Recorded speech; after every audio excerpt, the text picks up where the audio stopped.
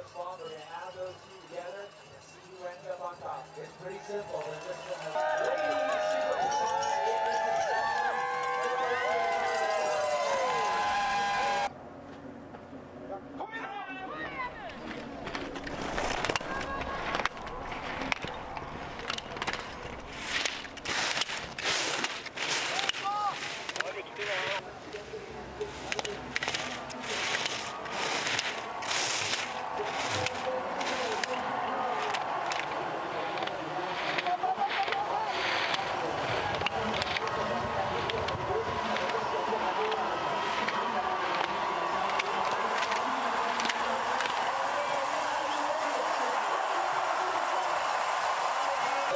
Uh, is